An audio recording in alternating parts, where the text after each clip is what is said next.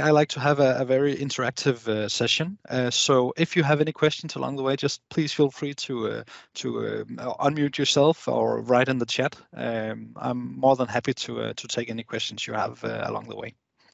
So this session, ca can you see my screen all right? Yeah, yeah, yeah. Okay, good. So this session is titled uh, Boosting Power BI Productivity with uh, Tabular Editor, and this is a session I've had uh, many times in the past uh, at, at, many different user groups uh, all over the world. Um, so the, the motivation for this session is more or less, you know, we all love Power BI, we love Power BI Desktop, and, and we love the, the things that we can do with data modeling and DAX and so on. But sometimes when you start to get uh, into building real world uh, models uh, that have you know many tables many measures and so on Power BI Desktop is not always the optimal uh, tool for, uh, for, for maintaining this this type of uh, of large and, and complex model, and that's where where Tabular Editor comes in to help you improve your your productivity.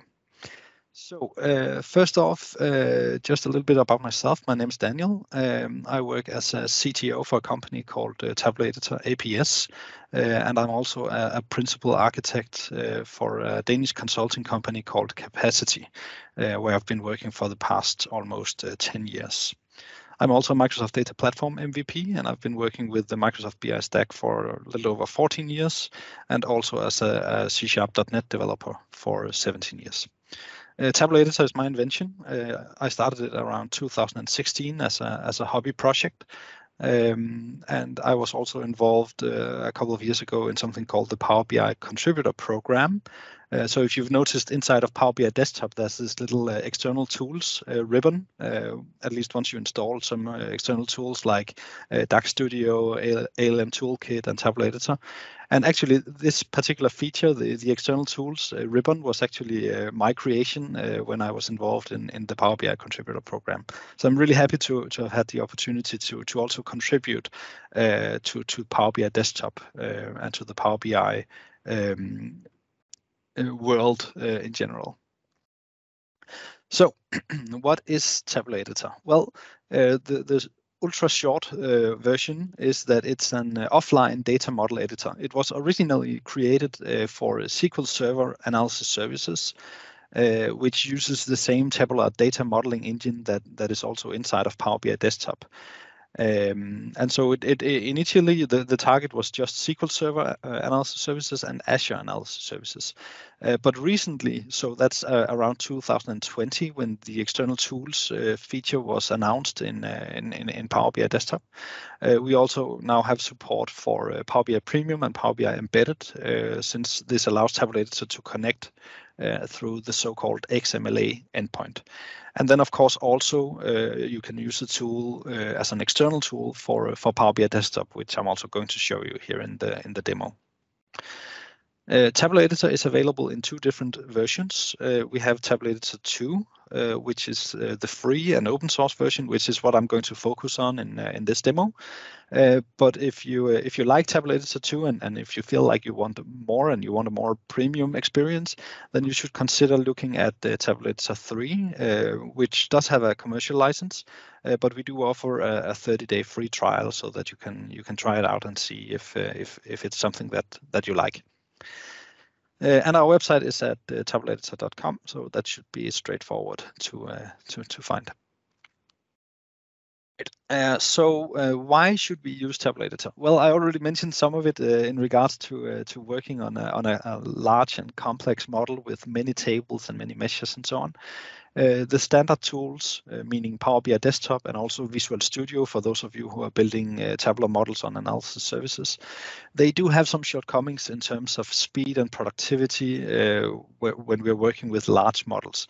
And, and one of these issues is that every time you make a change to your model, like if you change the DAX expression of a measure or if you change a format string or description or something like that, then the, the, the standard tool will have to update the analysis services database that runs behind the scene. And this update process can take a while to complete, especially uh, when the model starts to grow in, in size and complexity.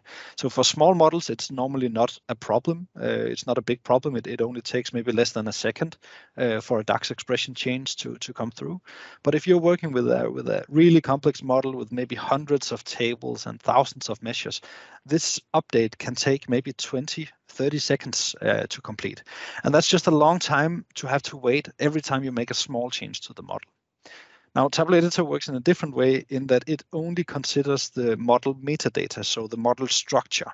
And that means that every time you make a change in Tabular Editor, it is instantly uh, happening. It's lightning fast. Uh, you don't have to wait for, for any database to be updated or anything like that. Uh, so the update of the database only happens when you press the save button. So this way you are in control of, uh, of, of when you want the, the update of the database to happen. And at least from my point of view as, as a developer, this just gives you a much more natural and and uh, and much more streamlined uh, developer experience. Uh, because as a developer, when you're writing DAX code and so on, you, you want to be able to switch quickly back and forth between different measures and see what's going on and make some small change there and another small change here.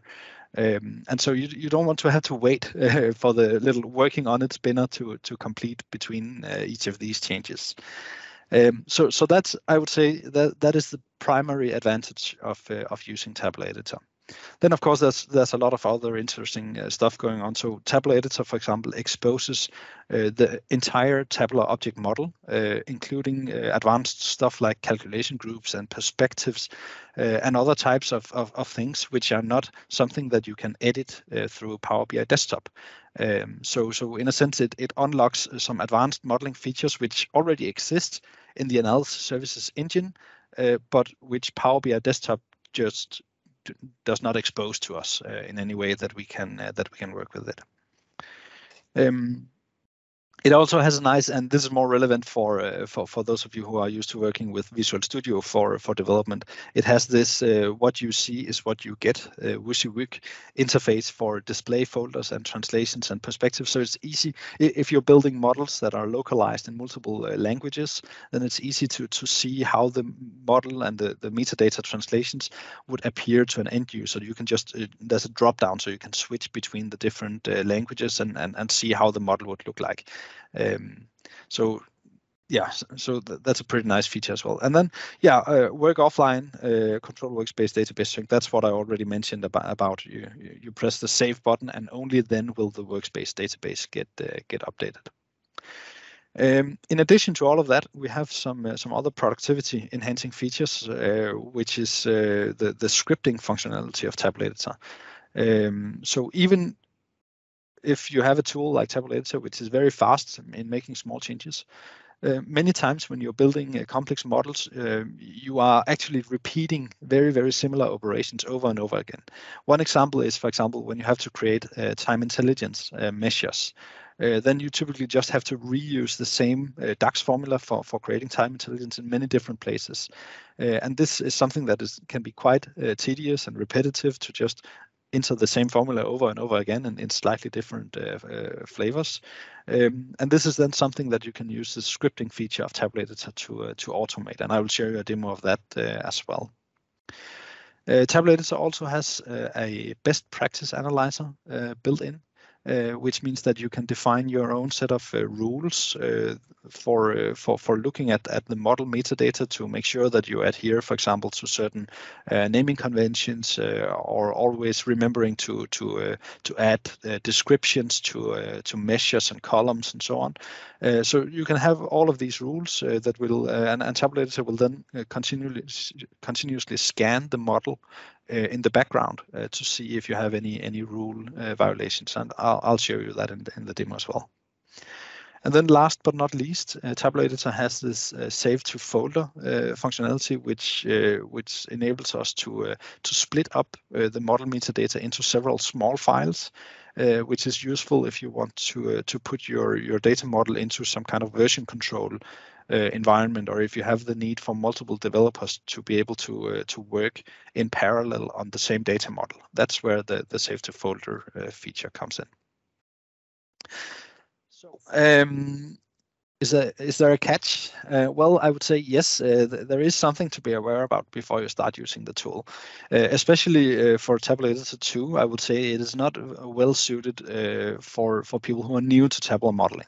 So if you do not know much about measures and calculated columns and, and DAX code and so on, then I would say you should spend some more time learning these concepts using Power BI Desktop or, or, or, the, or the standard tools from Microsoft.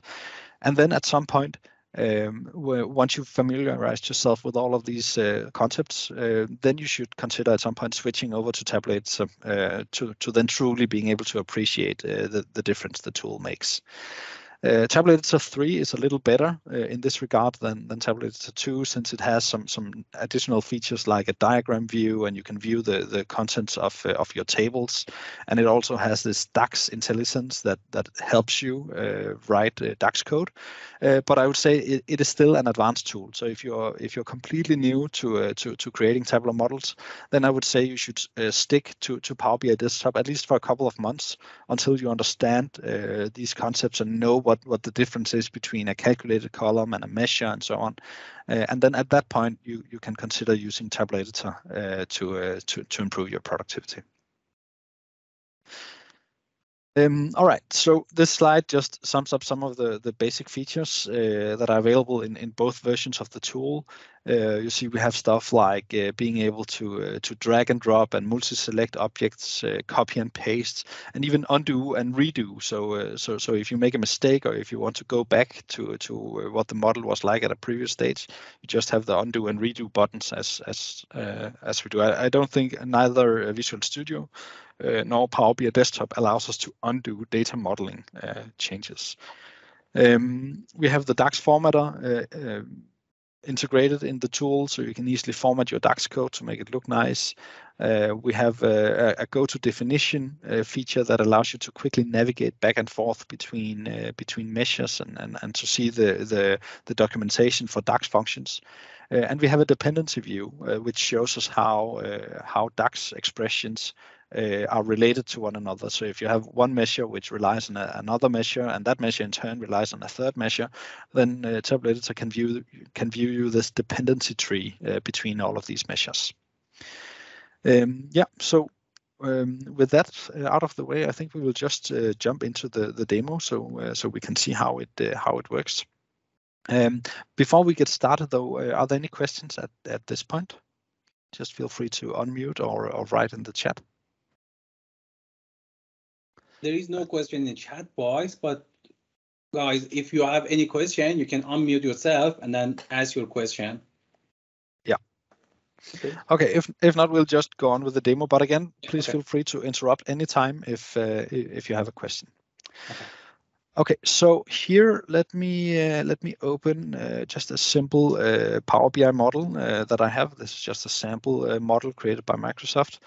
So the idea is that uh, that that uh, if if you want to use uh, Editor as an external tool for uh, for Power BI Desktop, you simply install Editor, and then at that point it will uh, show up in in in this external tools uh, ribbon. So you can see I also have DAX Studio, and then I have both Tabular Editor 2 uh, and Editor 3 installed. So for this demo, we're just going to use Editor 2.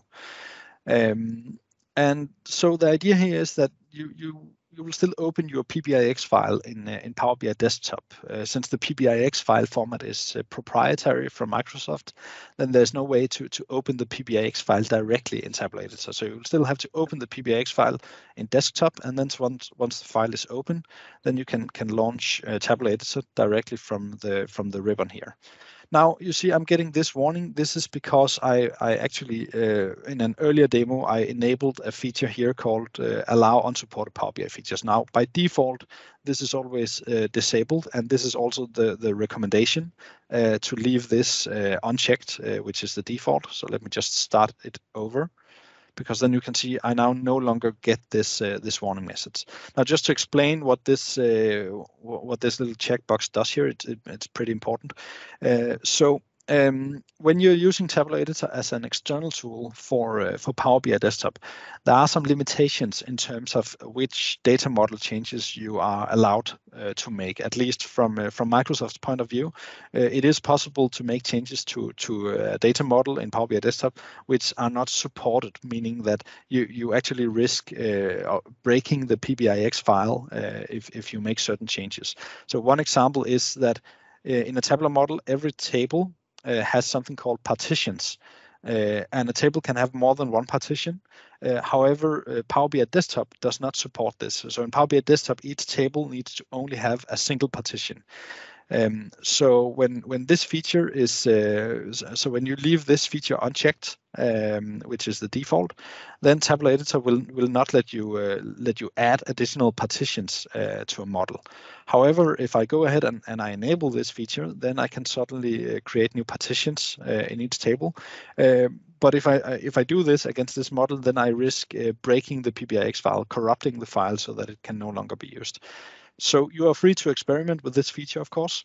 Uh, just remember to, to keep a backup of your uh, PBIX file uh, in case uh, something breaks. Uh, and otherwise, just just leave it at, at the default unchecked uh, status to make sure that, that we're not actually breaking anything.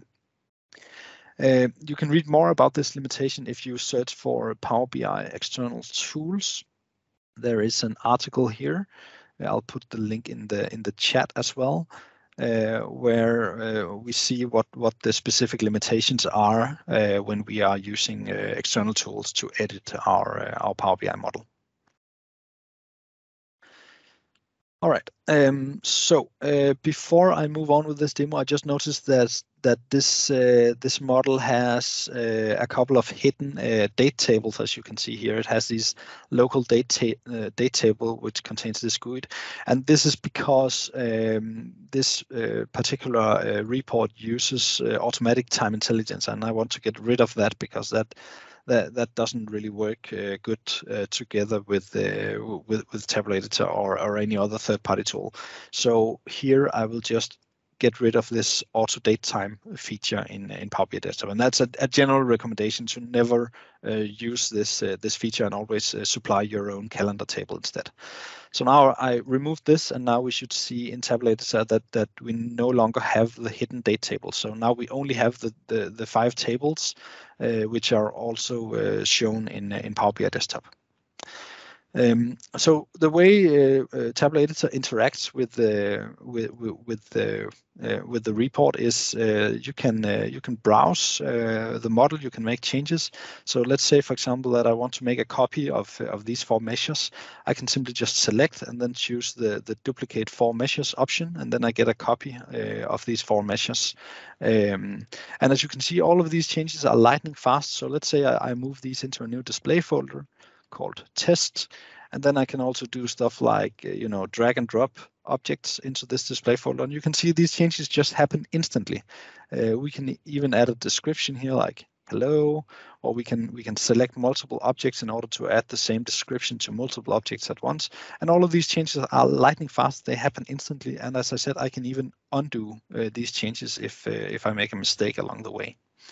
Um, but you'll see that the field list in Power BI hasn't changed. So this only happens when I hit the save button in uh, in, in, in Tabular Editor. So that's when uh, it goes and, and updates the, the the the analysis services database, uh, which is hosted by by Power BI Desktop. So when I hit this this button, we should now see that um, the, the field list uh, changes. So sometimes it, it doesn't work, um, especially for large mods, it, it doesn't always update.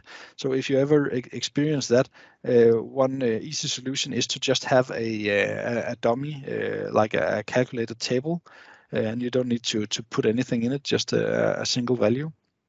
And then if you, and we can just rename this, we call it dummy table and we will also hide it so it's not visible for uh, for end users and then the, the the point is that that if you see that that the the the, the the new measures that you've created through Tabular Editor do not appear in, in your model, uh, then you can just uh, refresh uh, this um, uh, the, this particular table um, to to to have this um, uh, to to have the field list update. So sorry, I, I don't think for a calculate table, it doesn't work. But if I if I add uh, if I add, uh, so let me just enter some some data here in in an imported table. So just put a zero. It doesn't really matter, and we name this dummy table, and we load.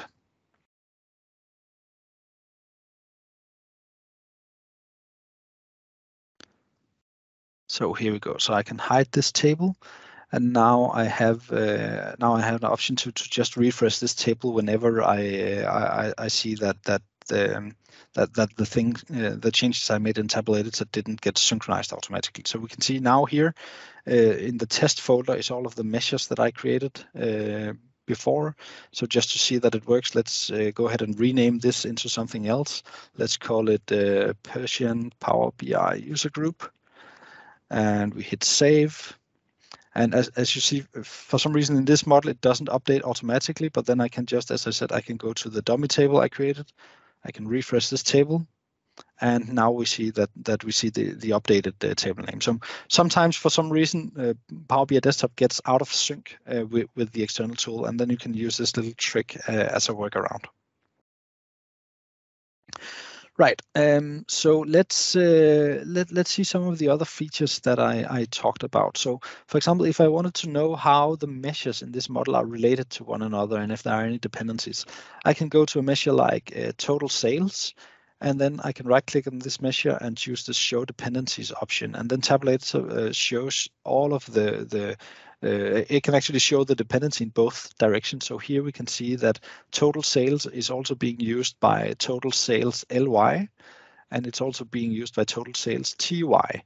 And total sales TY is in turn being used by this year's sales and total sales VAR, which in turn is being used by total sales VAR percentage which is in turn is being used by total, total sales variance percentage.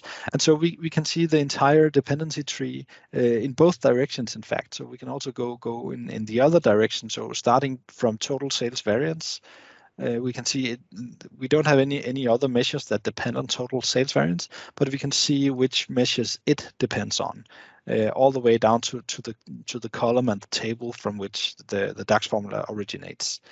Um, so this is quite useful if you inherit a model and, you, and you're trying to understand how, uh, how the measures are related to one another uh, within that model.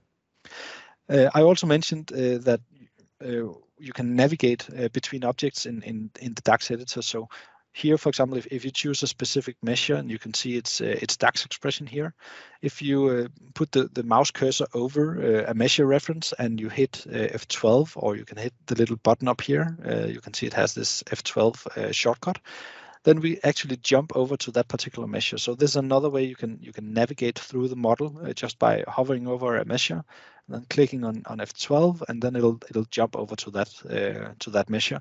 And then we have the little arrow button buttons here that let let you navigate back and forth. Um, so you can think of them like just like uh, if you're in a web browser and you're navigating back and forth between web pages, uh, they they work the same way.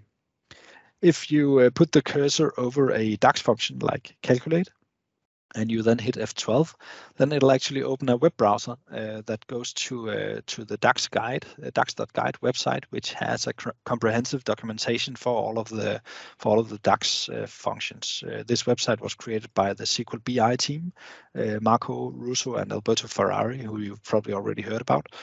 Um, and uh, this is the, the, best documentation you'll find for, for all of the various uh, DAX functions. So it's nice to have that little feature. Uh, you just hit one button and then you can bring up the, the documentation for, uh, for, for these items. Uh, lastly, I mentioned that uh, we have the DAX formatter uh, integrated. So you see there's this little format DAX uh, button here, um, which uh, which we can use to, to get our code uh, nicely formatted. Now let me see if I can find a, a slightly more complex DAX expression like this one.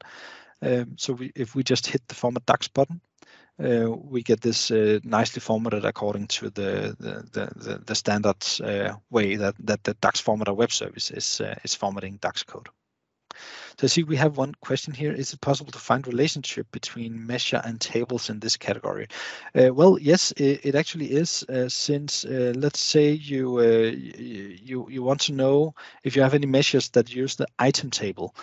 Uh, so you just click on the item table and then you press on uh, on show dependencies, and then you can uh, you have since you now started on a on a table you actually have three options now. So you can also show relationships.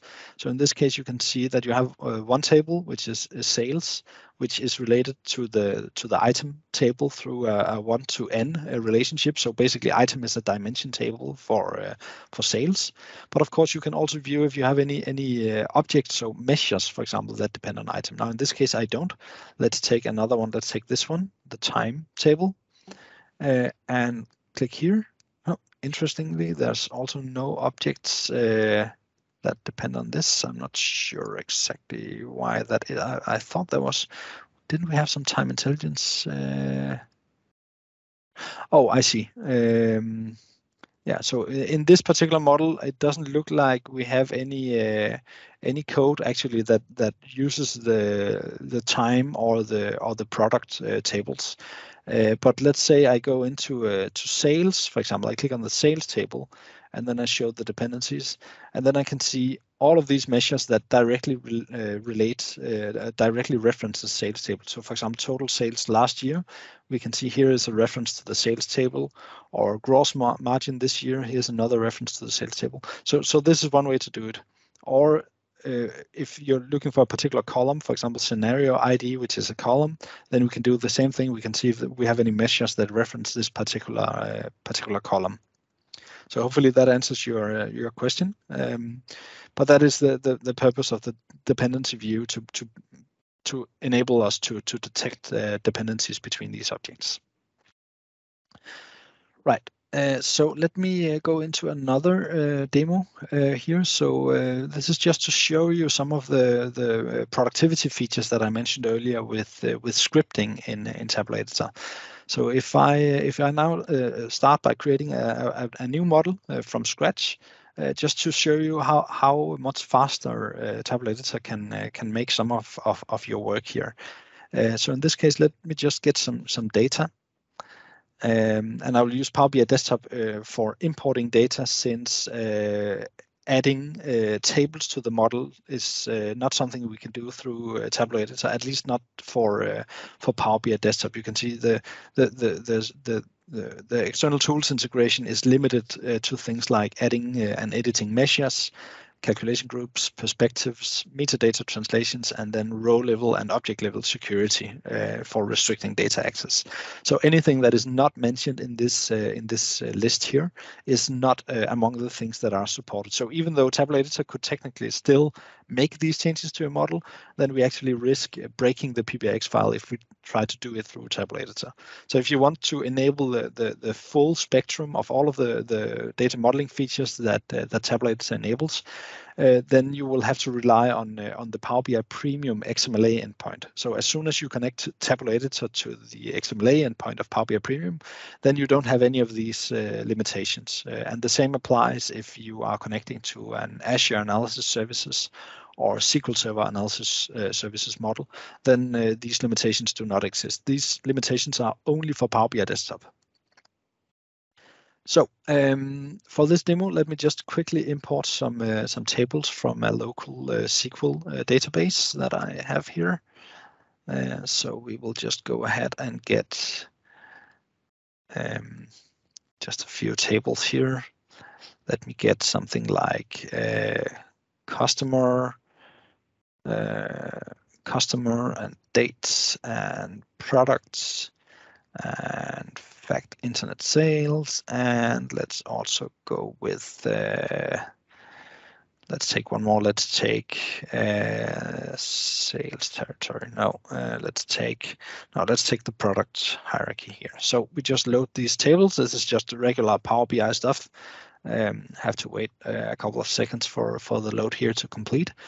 Um, so adding tables to the model, defining relationships between the tables, those are all things that you will still have to do through uh, through Power BI Desktop, uh, unless you're using Power BI Premium, as I mentioned. Um, but uh, but but fine tuning of the model, like adding measures and uh, arranging measures in display folders and adding calculations uh, in general, is something that you can do through uh, through Tabular Editor. So here, let me just uh, clean this up a little bit. I want to just rename this table. I want to call it sales. Um, and I would also like to rename these other five tables. Uh, I'll have to do that one at a time. In, in the meantime, let me just show you some of the benefits of, uh, of being able to use uh, tablets, so for example, against the, the XML endpoint. So here I'm, uh, I'll connect uh, tablets to a, um, uh, no, actually, let me just create a, a new model here. And just to show you, if, if I was working against Power BI Premium or um, uh, or uh, analysis services, I could actually do the same thing here. I can import some tables. Um, so let me just import once again the same tables from my uh, my local database. So here we use uh, customer and date and the product tables and also fact internet sales. So we import these five. And now just to, to show you here uh, some of the, the benefits of being able to, to use Tabulator to this is I can rename uh, multiple objects at once. So if I multi-select these five objects and I, I, I hit F2, I have this batch uh, rename option. So I can just get rid of the, the dim. So I replace dim with the nothing, and then I get these nice uh, names for the objects. And, and as you can see, this is just much faster than, uh, than in uh, in, in, in Power BI Desktop since it happens offline without synchronizing any any database. So that, that was just to show the difference. Here in this model, I would have to, in, in, in Power BI Desktop, I would have to uh, to go through them uh, one by one. And every time I change something, I have to wait for the for the little uh, working on it spinner to um, to, to complete. Now for this model, it's not too bad. It's just six tables, so it only takes um, a, a, few seconds to complete. But still, it's a little annoying that we don't have, uh, for example, the option of of, of uh, renaming uh, objects in uh, in batch uh, like I did with uh, with, with Tabular Editor. all right, let me just get this one going, and Right, right. So now the next step in this model, uh, be, uh, we are ready to uh, to add some measures uh, to the model. Now, uh, many users, uh, in, in many cases, when people create reports in in Power BI Desktop, they they don't care about creating measures. since you know you, can just take, for example, the sales amount column and you can drag it in, and then you can slice it by by product color, uh, and it just works. Uh, so many people think, hey, well, why should I bother uh, creating a measure? Well, um, there are actually several reasons for that. Uh, so uh, one reason is that um, when you are using a column here instead of a measure um, in, in your visuals, um, then, um, for example, you can't be sure that, that you're using the right type of aggregation. So uh, Power BI Desktop defaults to the sum aggregation, but in some cases you may want to have a distinct count or a maximum or an average. And so that is one reason for always creating measures because that way uh, you can control at the data model level how the, the numbers will be aggregated uh, instead of uh, relying on on on, on the, the person who is designing the report uh, to, to choose the, the correct uh, type of aggregation. Um, another reason for this is that if you publish uh, this report to the Power BI service, and you want to allow users to analyze uh, the, the model using uh, Excel uh, instead of Power BI, um, then your uh, your Excel users will not be able uh, to, uh, to to view these numbers as uh, Excel uses uh, MDX behind the scenes to uh, to to to to query the data model. MDX actually requires the data model to have actual explicit measures. Um, it, it, in Excel, you won't be able to to to aggregate a, a, column, for example. It, it has to be through a measure. So there are a couple of reasons why it, it's a good idea to always create the the explicit measures. Now, of course, um, I, I, could easily easily do that here in um, um, in in Power BI Desktop. I, I could click a new measure, and then I could uh, write sum of sales amount, and then I could put in here the the DAX expression like sales amount, uh, so that's all good. I, I, can easily do that. Um, but uh, again, as I said earlier, if you're working on a complex model, this operation can can take some time to uh, to complete. Uh, and also, uh, if let's say you have 10 numeric columns and you just need to to create a, a measure like this, which is just a simple summation of the numeric column, then it's kind of tedious and repetitive to have to to do that over and over. So there's a better way. So let's uh, let's remove this uh, this measure uh, from uh, from the model again, and let's get rid of this. And let's then bring up uh, Tabular Editor connected to uh, to this model. So here we now have the model. We can see all of the columns that have been been added to the model. We can also see their their data types here somewhere. Uh, so yeah, so here's the da data type. We can see some of them are, are numeric, uh, decimal data types. Um, and so what we want to do is we want to be able to to uh, to create these measures. Again, we can easily create the measures in Editor one by one. So doing the same thing, sum of sales amount, creating it here. We can start to write sum, and then we can drag the sales amount column over here to get a, a reference to this. Uh, and we hit save, and, and then the measure appears over in uh, in Power BI Desktop just like uh, like before. But I, am actually looking for an for an even faster way of of, of, of doing this, um, and that is actually possible. So let me let me just undo the creation of of this measure. So now we are we are back to to before the measure existed in in, in Power BI. Uh, now this time I want to use a script uh, to uh, to create the measures. Um, and the script I'm using, so instead of uh, trying to to figure out the the code for that, I'll just go to the docs.tabulareditor.com website, and then under uh, TE2 docs, you'll find an article here called uh, useful script snippets. So let me paste the link for this in the chat as well. And sure enough, actually the first sample code that is available here on this site deals with uh, creating measures uh, from columns. So I will copy this code. I'll move it into uh, into Tabular Editor. And then uh, just to go over it uh, quickly to see what's happening here, let me enlarge uh, the text a little bit. So the idea is that we now have a script um, which is going to to loop over every column that is currently selected in the TOM Explorer. And then for each uh, such column, it's going to uh, to locate the table that the column resides on, and then it's going to add a measure uh, to that table. And the name of that measure is going to be sum of uh, plus the name of the column.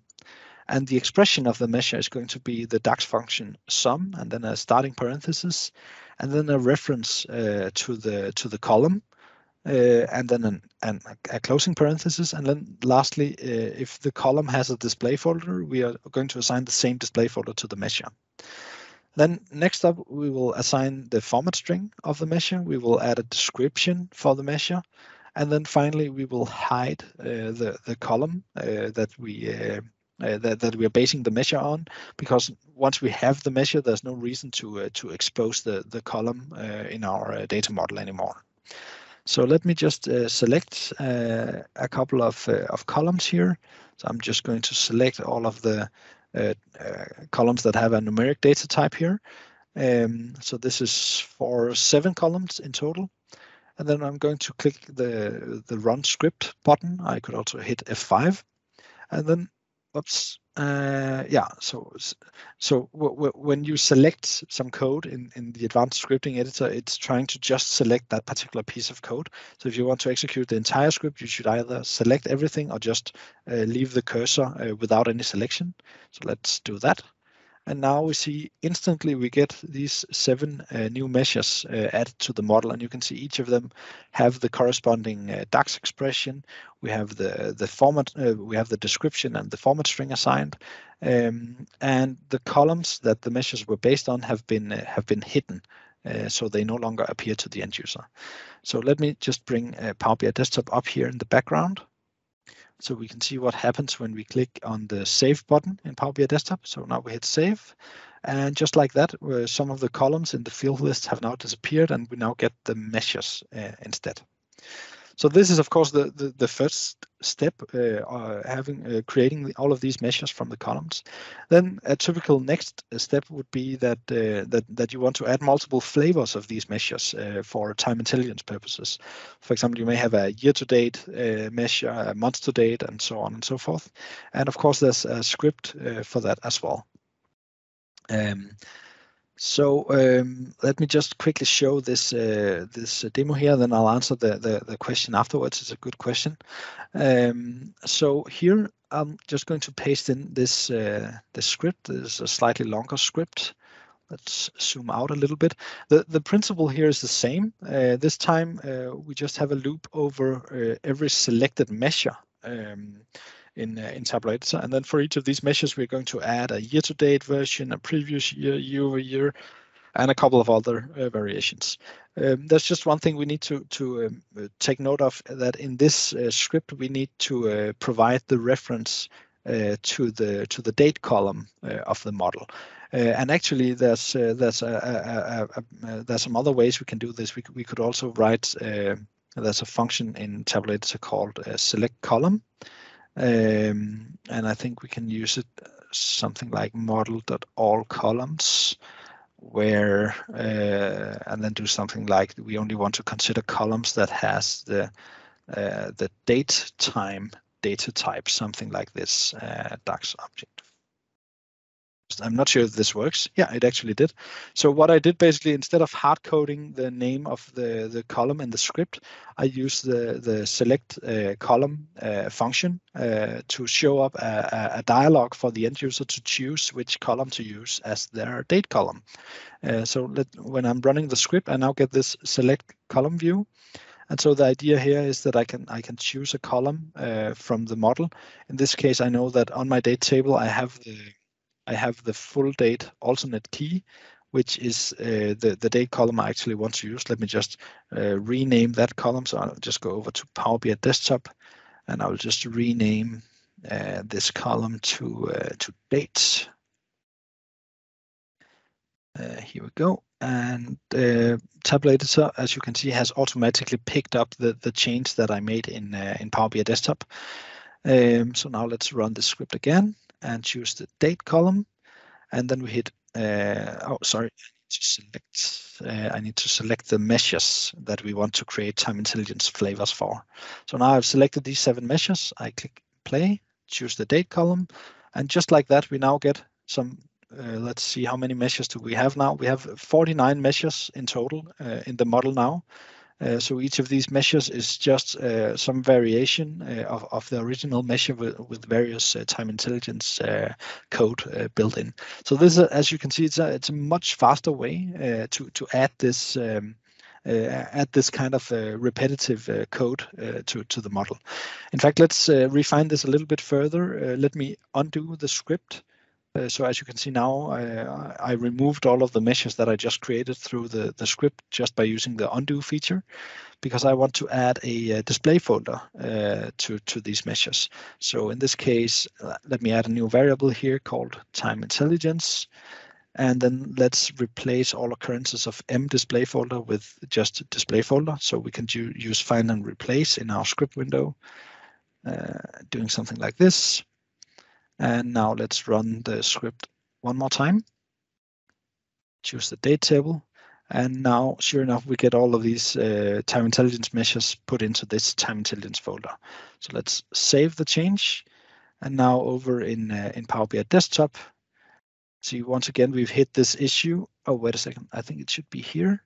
Yeah, so here we now have the time intelligence folder, and you can see within the time intelligence folder, we now have all of these measures. Okay, so uh, Fernando has two questions. I'll start with the last one. How does this process differ from the calculation group approach to build time intelligence measures? Uh, that's a, a, really good question, um, Fernando. And uh, in most cases, I would also recommend uh, using calculation groups for creating uh, time intelligence measures. Uh, but this was mostly just a demonstration of how you can use the scripting capability to to generate many measures in a short amount of time. Uh, there is one exception where sometimes it's also nice to have the individual measures. And that is because, uh, as you know, the calculation group will, will sort of become a dimension in the model where you can choose, for example, month to date, previous year, quarter to date. Now, uh, the problem with that is, let's say you want a more complex uh, view. For example, let's say you want a, a list where you're slicing uh, by product color and then you want to bring in uh, different measures with different uh, time intelligence. So let's say that you want the freight month to date and the freight year over year, and at the same time you want the tax amount previous year and tax amount year to date. So now I have a combination of different measures with different uh, time intelligence. And this is not possible with a calculation group. Uh, if, if you had used a calcula calculation group here, uh, you would have to, to you would get all of the combinations of the calculation items that you filter with the measures uh, that you include. Uh, so here, uh, so, so this is one advantage of actually having these as, as separate measures. Um, in the model. And you could also have both uh, options uh, available at the same time so that you use both the calculation group and this uh, functionality. Uh, so this is just a matter of how you prefer to design your model and, and which specific report requirements that that you have. So for your other question, uh, can you create a measure? Uh, can, can you create mesh uh, a measures table from from Tabular Editor? So by measures table, I assume you mean a table where you are collecting all of your measures. Um, unfortunately, since uh, creating tables uh, against the Power BI desktop model is uh, is not one of the supported um, data modeling operations, uh, then uh, the, then I mean the answer is yes. You you you can of course create a table in Tabular Editor, but for Power BI desktop, it's it it would be unsupported uh, by doing it. So in this case, I would recommend creating the, the the table in in Power BI desktop. So we can just do that. We can create a new table called my measures, and we'll just put the expression uh, just to, to a single value. So now we have the my measures table. And then the good news is that, that we can use Tabular Editor uh, to move uh, all of the measures uh, to that table. Uh, so in Tabular Editor, we can just do a, a cut and and paste in order to, to bring the measures into the my measures table instead. so we hit save and, and now we, we see all of the measures on the My Measures table instead. Um, now, one thing to be aware of, if you are moving measures between tables uh, through external tools, you may risk uh, that your um, that your visuals will, will break, as you can see here. And that's because, unfortunately, visuals in Power BI uh, reference the fully qualified measure name, that is the measure name including the table name in the front.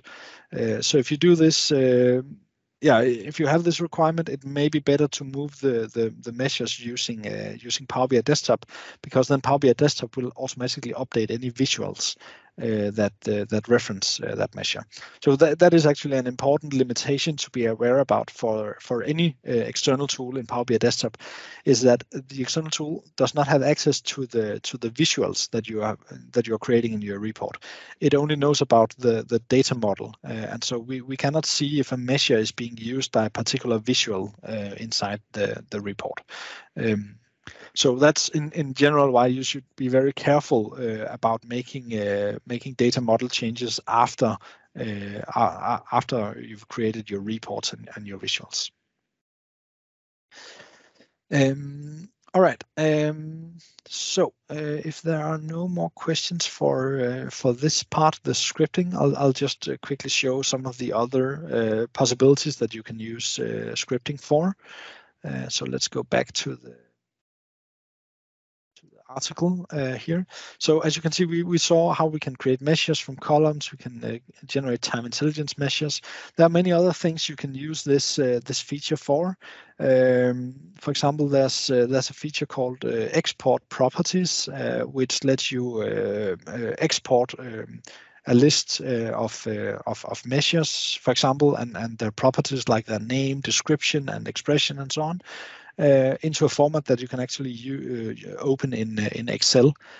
so for this model, for example, I could write something like, if, if I just copy the code here, um, and let's just save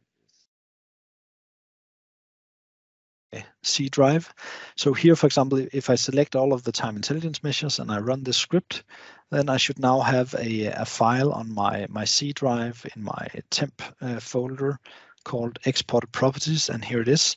And this file uh, is a is a, a tab uh, tabular separated uh, values. if I rename it to CSV, I should be able to open it in uh, in Excel.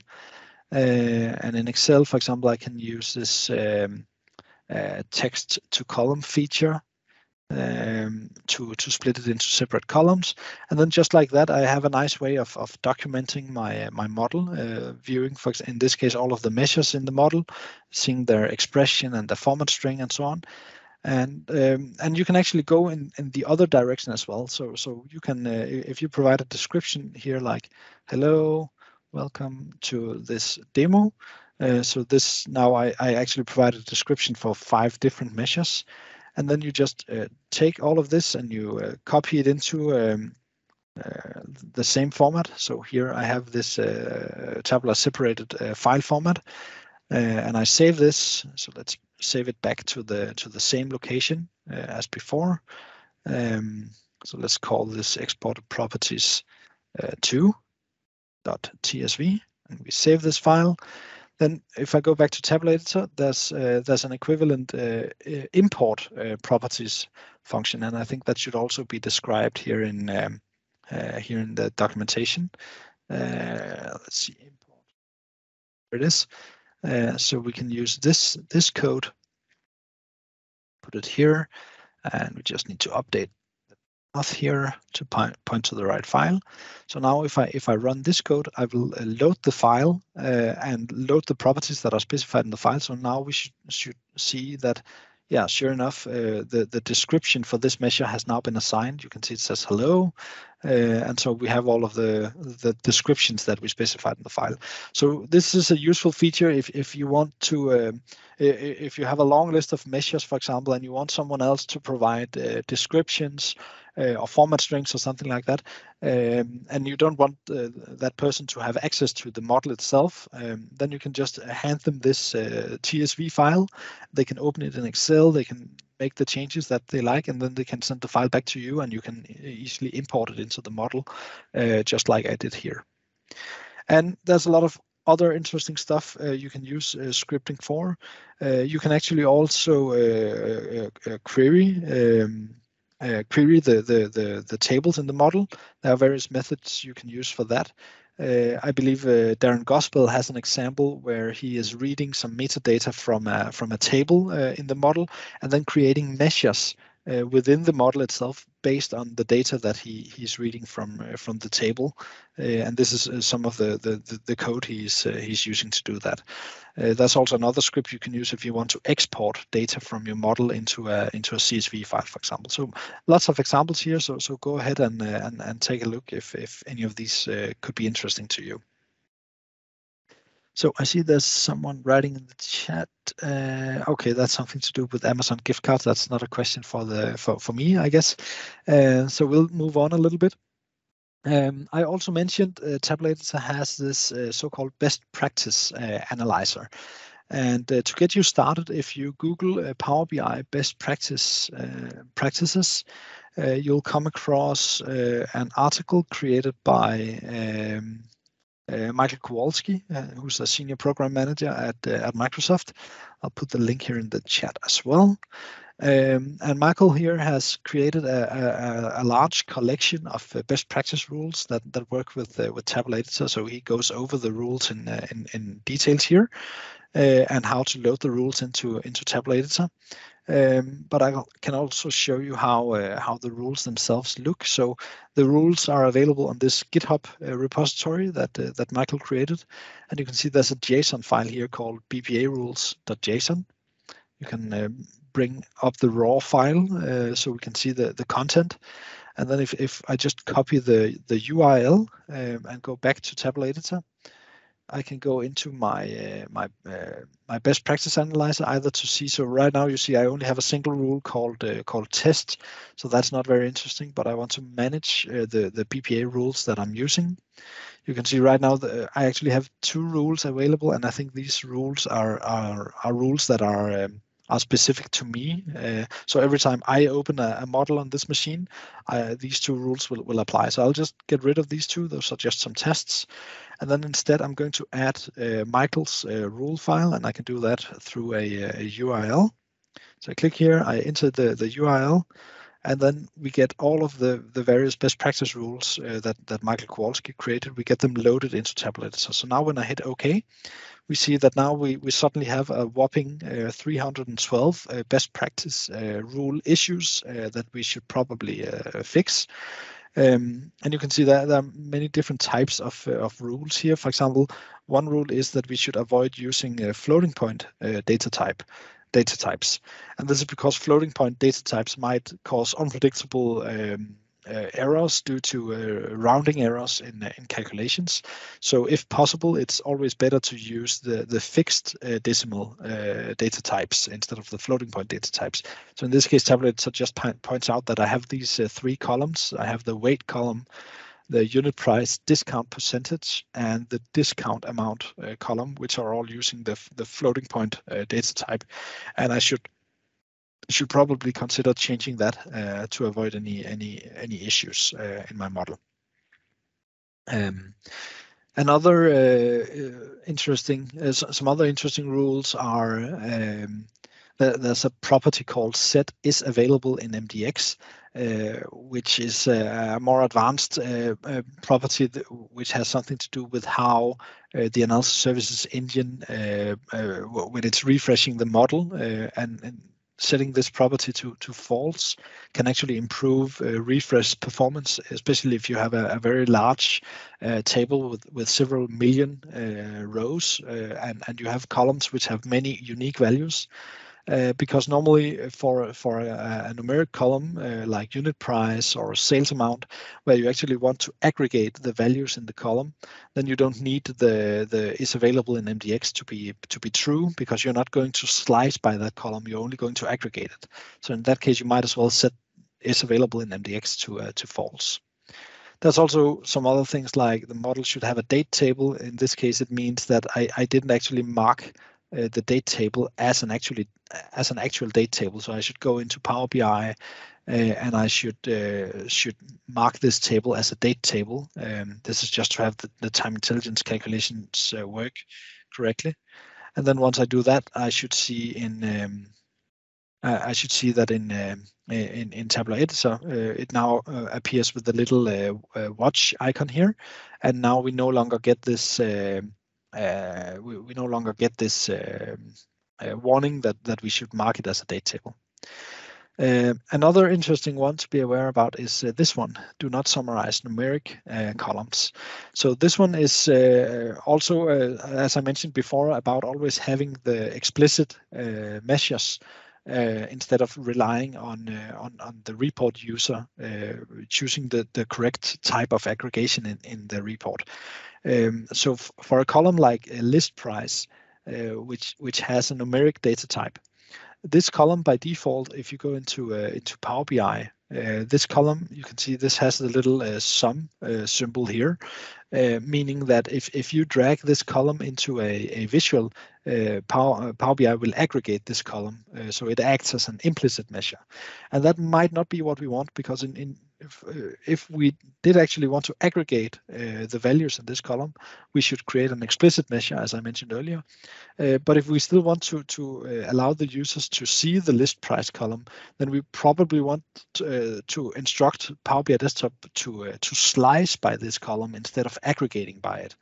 and the way we do that is by, so in, in Power BI Desktop, we would set the, the summarization to don't summarize, um, but that is the same as going into uh, to Power BI Desktop and and setting uh, the summarize by property to uh, to none uh, instead. So that would be the same thing.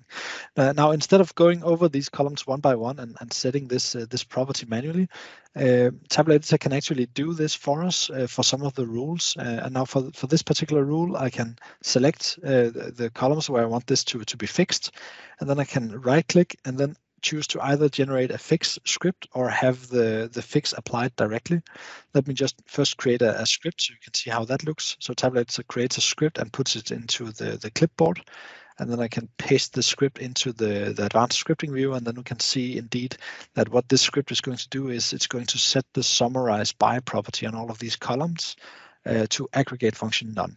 So I can run the script or I can go back to the best practice analyzer and, and just apply the fix directly. And so it fixes all of these columns. And now when I hit save in Tabular Editor, you can now see that the, the, the little uh, uh summarize uh, symbol has has uh, been removed. So the next time I, I try to add list price to a visual, it's actually going to slice by list price instead of aggregating list price. So that's another uh, really good best practice uh, to have um, to make sure that, that, that that you take care to when, whenever you have a numeric column in your model, you either hide it and create an explicit measure on top of it instead, or you set the summarize by property to uh, to none. There should not really be any other reasons to have uh, numeric uh, columns uh, uh, exposed uh, in a way where where end users can aggregate them in in Power BI Desktop so yeah, a, a, lot of these rules uh, are like that. Uh, so uh, so take a look and read Michael's article that I put in the in the chat, so you can see what what these rules are about. And then remember that if if, if you need to, you can also create your own rules. Uh, so you can either modify uh, some of the rules that, that Michael created, or you can create new rules from from scratch uh, you can find some documentation on, on how this rule editor works on uh, on the website uh, as well. So um, the last thing I think I want to show you for uh, for this session uh, is how to use uh, Editor's save to folder functionality. If you remember, uh, initially I mentioned uh, we have the save to folder feature, which allows us to, to save the model metadata in a special format, which is uh, well suited for uh, version control integration. So for those of you who, who have some experience with, uh, with, with version control systems like like Git or Subversion and so on, TFS, um, you know that that it, it's not really possible uh, to uh, to properly uh, version uh, PBIX files uh, in such an environment. Well, of course, you, you can certainly bring the PBIX file into version control, uh, but since the PBIX file is a is a binary file format, it's not possible for for your version control system to uh, to to uh, reason about any any changes that have been made uh, or merge uh, conflicting changes uh, from from two different branches of development into a single file. Um, so here, for example, if if we uh, save this as a Persian user group demo and put it on our desktop, um, so this PBIX file, as you know, is is this proprietary uh, file format, which is is not uh, well suited for uh, for version control integration. Um, so instead of doing that, uh, we can use uh, Tabular Editor to uh, to save the model metadata in a folder structure. so if you use this save to folder option, let me go and create this demo folder and we choose select folder, then let's take a look at what uh, what goes into that folder now. So uh, so here's the folder. You can see here we have a, just a JSON file. A JSON file is a is a text file which is uh, is is is easy to integrate in version control, and you'll see that we also have um, we have this folder called tables. This has one additional subfolder for every table in the model. For example, internet sales has an additional subfolder and our my measures table has one. This one has the, the, the measures uh, subfolder as well. And here you see that all of our measures now have their own uh, JSON file within this folder structure. So for example, uh, if we look at uh, the, the tax amount, it's just a very, very simple JSON document that contains the name and description and expression, format string, and so on of this, uh, of this particular measure. Now this file format here is much better suited for, uh, for version control integration uh, since um, if you have two develop two or more developers who are working on this uh, data model at the same time, uh, as long as they are just working on different parts of the model, so maybe I'm working on internet sales and my colleague is working on reseller sales, then we can make these changes. Uh, it'll just affect different files in the file structure, and that, that means that our version control environment, if we, we are using Git, for example, it, it can merge uh, the changes uh, that both me and my colleague made uh, in, into the, the, the, same folder structure without any issue. Now then, of course, the, the problem then is how can we then uh, get uh, from, from this folder structure, how can we get it back to a data model that we can actually use in Power BI Desktop? Well, uh, one requirement for that is that you that you have access to Power BI Premium, um, because uh, what you can then do is you can uh, open a, a, model from a folder structure. So here I'm just opening the the, the Persian uh, user group demo. I'm selecting this folder, and now I'm getting back to my my data model with all of my measures and so on. And then we have this option of deploying uh, this uh, data model. So in this case, we could deploy to uh, SQL Server Analysis Services or Azure Analysis Services, or we can deploy to the to the Power BI XMLA endpoint. So we're actually taking the model from this folder structure and deploying it as a data set in the Power BI service. So if you want to use this this functionality with having multiple developers working on the same data model, then you will have to to have access to uh, to the XMLA endpoint either by using uh, Power BI Premium uh, capacity or Power BI Premium per user. So hopefully that that makes sense. Um, Right. So I, I got a question here uh, around any plans to list in AppSource.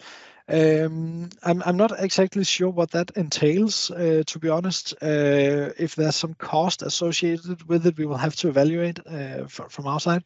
But please be aware that uh, for the open source version of Tabular Editor, at least, uh, there are actually uh, two different versions you can download. You can download a portable version that you can use even if you don't have admin access on your own machine. So you can just download the zip file uh, unzip it to any folder on your machine, and then you can just use the tool. You don't even have to install anything or anything like that uh, to use it.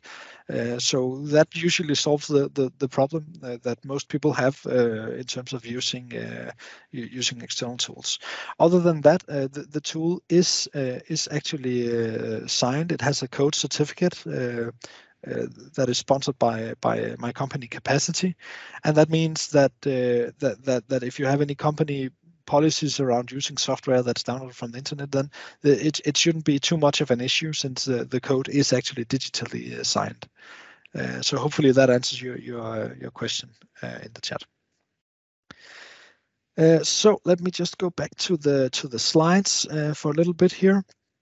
Um, so uh, just a, as, as a, a small uh, commercial for, uh, for, for Editor 3, uh, this uh, has been uh, Editor 3 is is basically an, an evolution of, of Editor 2. So we looked at Editor 2, we evaluated which were the, the features that that we would really like to to have, and then we evaluated the the the the effort and the investment uh, required for, uh, for, for these features. And one of these, and I would say probably the most important of these new features, is the ability of having uh, IntelliSense. Uh, so we have a much better uh, editor for writing DAX code in, in Editor 3.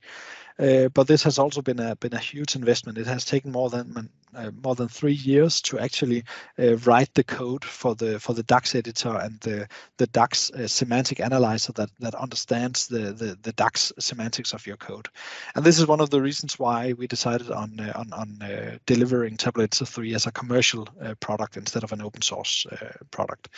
Um, in addition to that, uh, ha having a commercial agreement also allows us to offer 24/7 uh, support uh, for our enterprise customers. Um, and uh, and yeah, that, that are just some advantages to having a, a commercial uh, model uh, rather than an open source model, which has enabled us to to to you know employ developers who work on this full time. so if you want this premium experience. Uh, if if if uh, if you want more than what we can offer with with Tabular Editor 2, then definitely consider downloading uh, Tabular 3 and, and and take a look at at the features that are uh, available there. Yeah, this is just uh, some of the the stuff I already said about yeah, a dedicated team of developers, support, and so on. Um, some of the new features of Tabular Editor, uh, as you could also see in the screenshot before, it has a new UI which has full uh, high DPI multi-monitor theming support. It has this new super powerful uh, DAX editor that I mentioned. It can analyze all of your, your DAX metadata uh, offline, uh, meaning that if you make a mistake in your DAX code, you will actually see that as you type uh, your code. So you don't have to to save the model back to analysis services before you, you, you see if there are any syntax errors in your DAX code. Then it also has a diagram view. It has a new DAX scripting feature, a macro recorder for making it easier to create these uh, these uh, C sharp scripts uh, that you saw in the demo earlier. And then it has a ton of of, of uh, features that actually connect to the model and, and and consider the data in the model, like a table preview and a DAX query editor, a pivot grid. Um, it can refresh the model in the background so that you can continue working on, on adding new measures and so on as the refresh is in progress and it has uh, an integrated VertiPaq analyzer that you may know from uh, DAX Studio, and it even has an integrated DAX debugger. Uh, so if you're new to DAX and you want to learn more about uh, how things like row context and filter context interoperate, then we have this DAX debugger in Editor 3 that lets you step down into the code uh, line by line and, and evaluate variables and so on along the way. Um, so if you want to learn more about this stuff, there are videos available on YouTube uh, where you can uh, where you can see a demo of this. Or as I said earlier, you can just download Editor 3 and, and try it uh, for 30 days uh, to see if, uh, if if it's something you like. So um, I think that's basically yeah. I don't think we will go into a demo of Editor 3 in uh, in this session, but as I said, there are plenty of stuff available online where you can find more. Um, but uh, yeah, we have time for questions as well. I'm happy to, to, take some questions. I see there was one just now. Uh, what are macros in Editor? Are they the same as scripts? Yes, that's a good question, uh, Fernando. Thank you. Um, one thing I didn't show you in, in this demo is that if you have a script in Tabular Editor, so let me go back to one of the, the script snips. Let's take this one, for example, and we copy this script into, into Tabular Editor. Um, now that we have this script in here, uh, we can actually save this uh, as a so-called custom action. So yeah, I, I, I, my apologies on, on the naming here. In, in Tabular Editor 2, uh, these are called custom actions, but in Tabular Editor 3, they are called macros. But they are the same thing. Uh, it's just that, that we renamed them uh, to avoid confusion. Um, so if we save this as a custom action, you know, we get this little custom action dialog. We can give it a name. So let's call this Persian UG demo create measures from columns. And we indicate that to use this macro or this custom action, we should select a number of columns and then we hit OK. So now the, the deal is that I can select uh, some uh, measures here like this one, uh, sorry, some columns. I can select these columns. And now instead of having the, the script in the scripting window, I can just right click and then I'll have the script integrated directly in the right-click uh, menu. Uh, so you can create these reusable uh, scripts that are integrated directly in, uh, in Tabular Editor's UI, uh, making it, it, much more easier. So if you have some scripts that, that you use a lot of times, you don't have to copy and paste the code for the script in every time. So th this feature is also available in Tabular Editor 3. The difference is that it's just called uh, macros. and then Tabular Editor 3, as I said, also has this macro recorder. so it can actually generate the, the script code for you um, as you are recording the, the, the, the, script. So hopefully that, that clarifies that. So any other questions? I'm uh, I'm uh, I still have time to uh, to to take. I'm happy to uh, to answer any other questions you may have. Uh, just one thing, Daniel. The, that's that DAX debugger. Is it just available on Tabular Editor 3 or? Yes, uh, the the DAX debugger relies on the on some of the technology that that we have in Editor 3. Uh, specifically, we have this uh, DAX semantic analyzer, which actually understands the the syntax and semantics of your your DAX code. And this uh, semantic analyzer is only available in Editor 3. We also use it for stuff like IntelliSense and syntax and semantic checking and so on. Uh, and and that's a, a very important component of of the DAX debugger. So for that reason, it, it's only available in Editor 3. I mean, oh. if you like, I'm I'm happy to show a, a quick demo of uh, of what that it does. Great. Yeah, sure. That would be great. Yes. So just keep in mind, again, this is Tabular Editor 3, so this requires uh, a, a, commercial license to be able to use this feature. Um, but let's just uh, see how it works anyway. So here is Tabular Editor 3. I don't want to go into too much details about the, the new user interface. You, you, if you like, you can bring it over to the classic layout, uh, which looks a lot like uh, like what it looks like in, in, in uh, 2. Um, but this is just a matter of preference. You can you can design the user interface layout any way you want.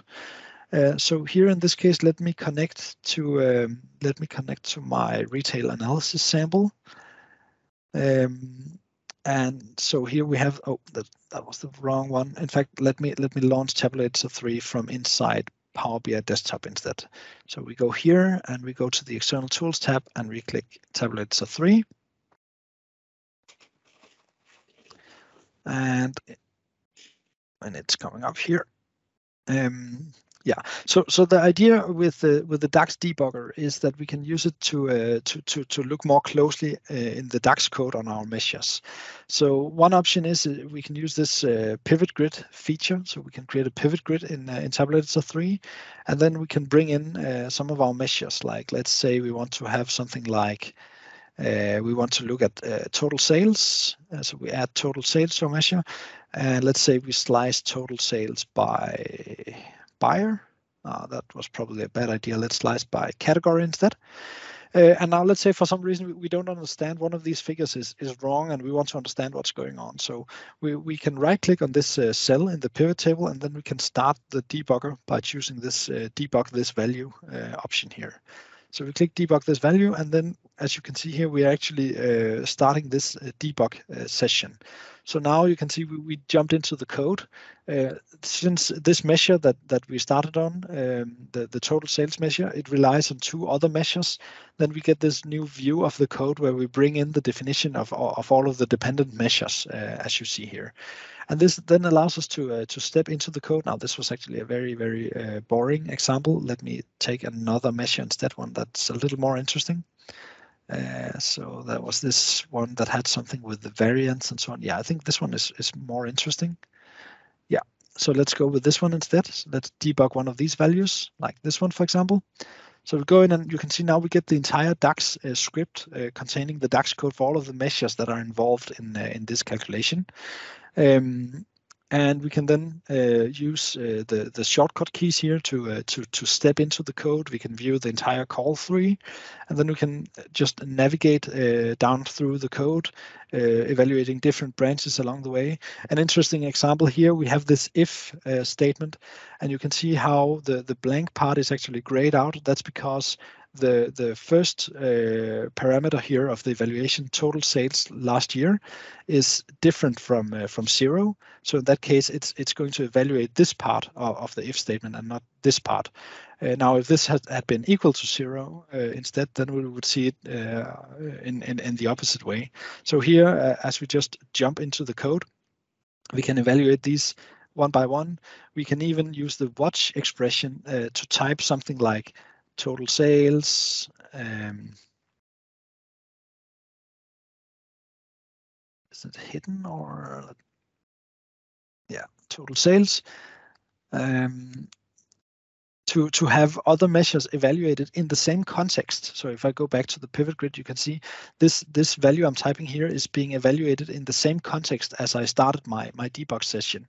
Uh, and now I don't think there are any any filters in this expression. Oh yeah, I do actually have some. So so if I if I continue down uh, through the code here, then at some point we should get to this calculate. And here you can see calculate is applying a filter. We're setting scenario ID equal to one. So now uh, as I'm getting into total sales, you can see now I'm getting a different value for total sales that I had before.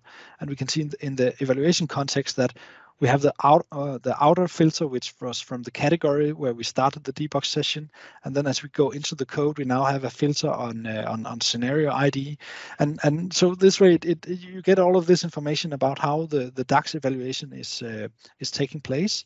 Uh, which is very useful uh, if, if, you're wanting to understand some some complex DAX code and, and the values that uh, that it returns. So this was just a, a super fast uh, demo. Uh, I actually made a session uh, a couple of months ago called Deep Dive into Tabular Editor's Debugger, which is available on YouTube, where you can find a lot more details about how this how this works and, and how to use it. Um, but yeah, as you can see, it's a very powerful tool and especially useful if uh, if you often face yourself uh, not understanding exactly why, why a specific calculation uh, provides a, a particular value. Um, all right. Um, this is great. Thank you. Thank you. This debugger is boom. It's really great. I love it. Um, for example, this DAX debugger, if you want to do that, it's very hard. You need to define many variables, run one by yeah. one, and then find those information. But this is great. Yeah, yeah. I mean, in the past, we've probably use tools like uh, DAX Studio uh, yeah. to, uh, to to create uh, uh, lots of queries where we're testing different variables and and yeah. commenting and uncommenting code and so on.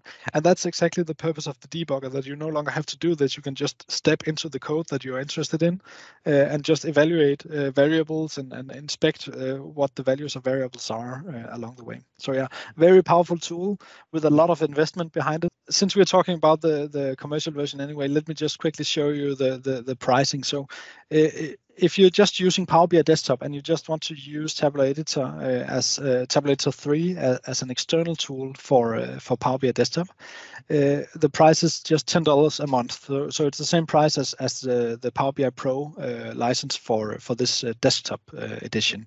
So here the idea is that you get full community support through our GitHub website uh, and you can use the tool for Power BI desktop development. So everything I showed you here in the demo uh, is is what you can can can use it for as well. So including the debugger uh, that that I showed.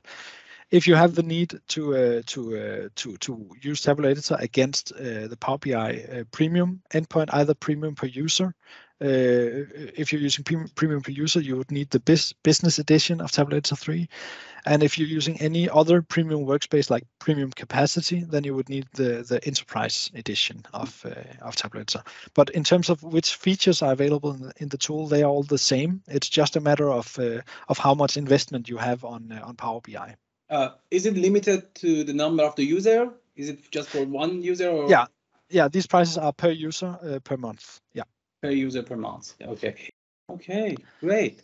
Thank you. Thank you very much, Daniel.